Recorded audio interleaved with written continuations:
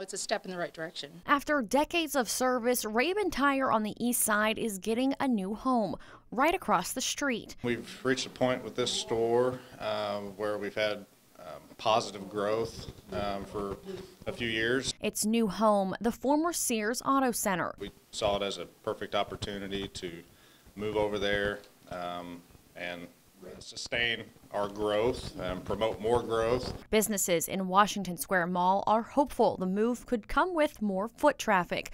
Annalise Twice Chosen Bridal and Prom Consignment Shop has been in the mall for 10 years. It has changed a lot. Um, we were in, we're in the wing where Sears used to be, and when, when we moved in, it was it was full, and now we're the only ones down here. They've seen Raben customers in the store before, but hope more will come with the move. We've already had that with Raben just being right across the street. I've always had ladies stop in while they're having their car work done. Same goes for Salon D. I just think it's all good. Anything with some more footwork is, I think, gonna just be good for the whole area. Which reopened in the mall at the end of January. And I just wanted to reopen it. I liked being back in this area and kind of feel like I came back home. With the loss of Sears last year, the mall continues to struggle to fill the empty spaces, but many are hopeful good things are to come.